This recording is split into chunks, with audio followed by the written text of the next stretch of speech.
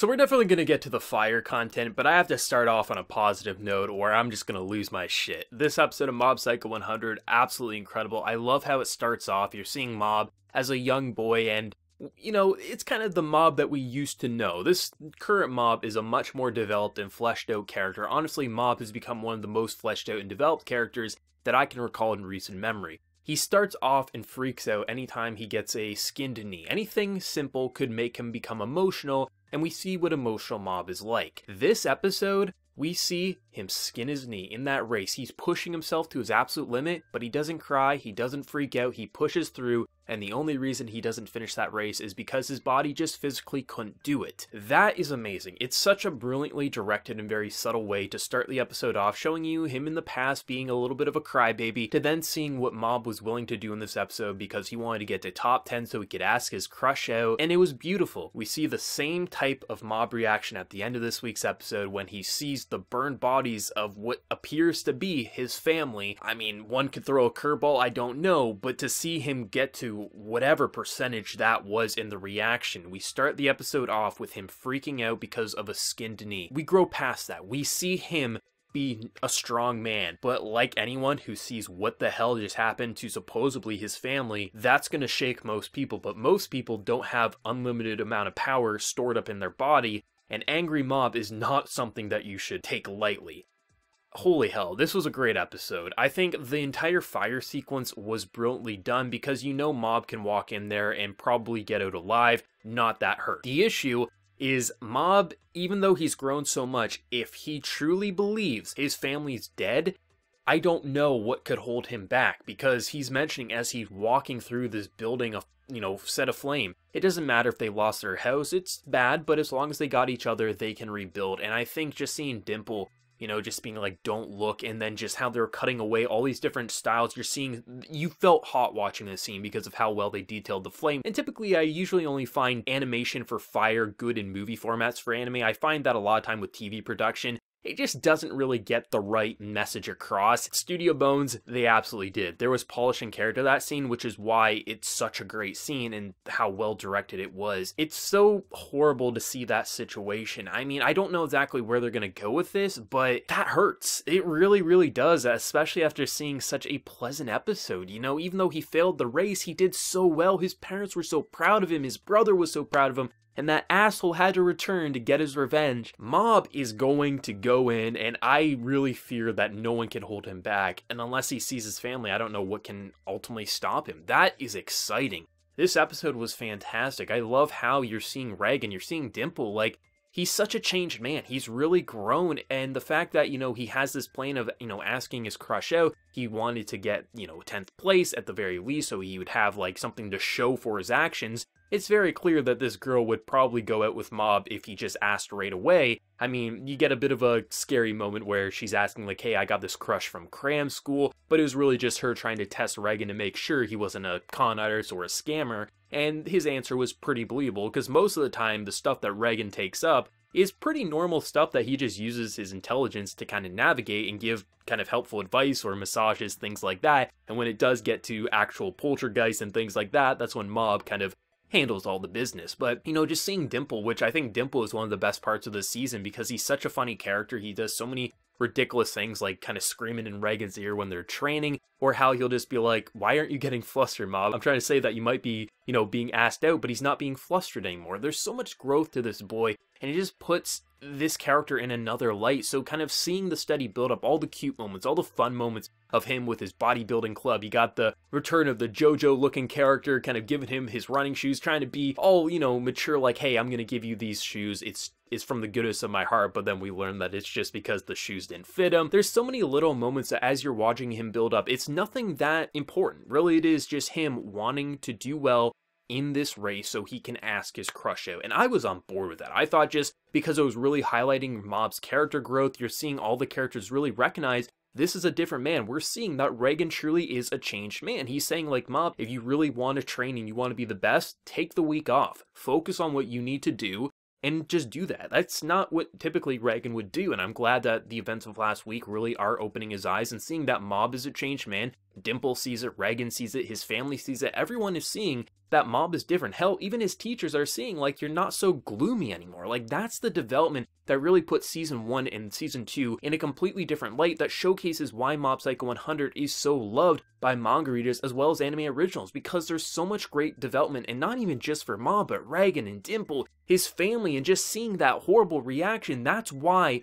it hurts us alongside Mob. Because on one hand, you're like, you want him to get revenge, but you feel like if he gets consumed, Mob 2 will be destroyed by those flames alongside his family. And like that hurts. And like that's what's so great about this is because even when like mob's brother he's not anyone like i'm overly attached to but i would never want him to burn alive or die because what would that do to mob? Well we're seeing what that would do. The animation and directing was so fun. I absolutely love how much they just shift around the style. There's so many great comedy scenes honestly stuff that made me laugh because it was just so perfectly executed alongside the voice acting, alongside just the really stunning visual directing. And then you get all these like little moments. Like it truly felt like one of the safest episodes of Mob Psycho 100. Like when that doorbell rang, I was expecting his crush to be there, being like, "Oh, is Mob home?" It was gonna be something sweet and adorable. And then when you see that asshole, you're just like, "You gotta be freaking kidding me." We start the episode off showing that Mob is no longer the scared little boy who cries over a skin knee, and you're gonna make him walking on burned bodies upstairs,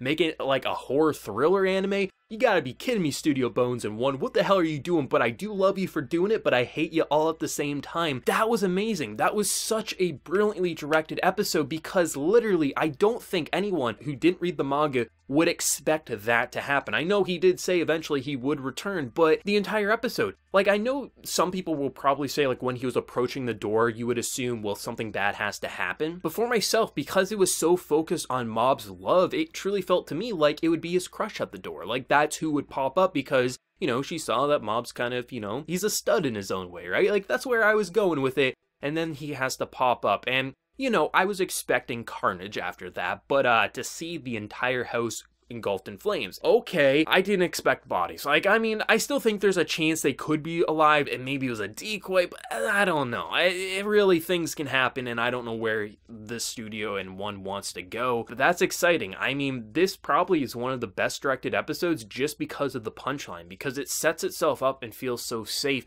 that really nothing feels overly dangerous about this episode. It really is about Mob showcasing his growth, showcasing what he's willing to do. So when you get that reveal, when you get that shocked and awe, Mob really trying to stay calm but slowly creeping up to 100%, trying to kind of decompress, try to be like, it's okay, I can just meditate. The house can be rebuilt. We can get another one. We got insurance. You know, as long as we got the family, that's all that important. He's still creeping up for obvious reasons because watching your house be burned alive is not something that you are gonna enjoy. But to see the reaction, this it hurts. And that's why you know this is doing a really solid job because when it hurts, you know this is an important anime. The voice acting, the soundtrack, the directing was so great. And I just, like, as great as that punchline was at the end of the episode, I just loved the entire content. Honestly, I was ready to say that this was one of the best episodes of the season even before the house was burnt down. Because I was like, I really like seeing what Mob's doing. I love seeing characters respond to Mob, being like, you know what, Mob? You go, boy.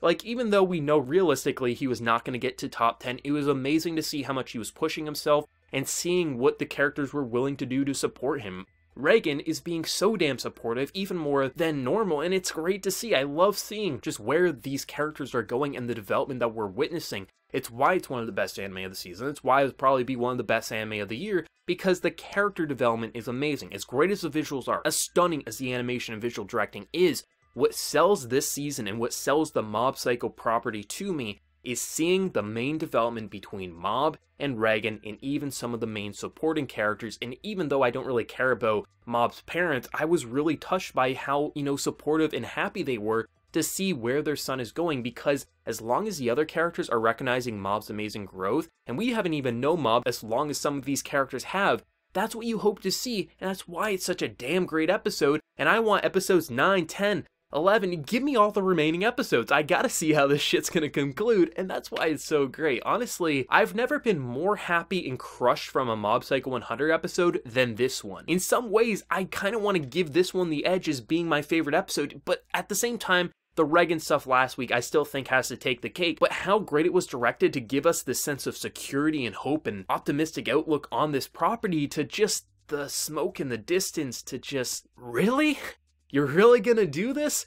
That was incredible. Honestly, it just keeps throwing new and interesting and horrible and brilliant techniques our way, and it keeps leaving me surprised. It doesn't matter if it's focusing on a character or a theme or just an idea, this season is incredible, and it just makes season one that much better. So when I go to rewatch season one and two, which I'll probably do when this season wraps up, I'm gonna have a completely different outlook on season one because of the events of season two. This episode brilliant. Absolutely love it. Gonna need to decompress after this one. Let me know whatever you thought of this week's episode of Mob Psycho 100 down in the comment section below. Manga readers, adaptation. Was it good? Was it bad? Was it fantastic? Let me know. Anime originals. Did you feel safe like myself and then that burning down sequence, did it just completely shock you? Or did you completely see this coming? Let me know whatever you're feeling down in that comment section below. Remember to leave a like if you did enjoy and also hit that subscribe button if you're new to the channel. But until next time, everyone, please take care and have a good one.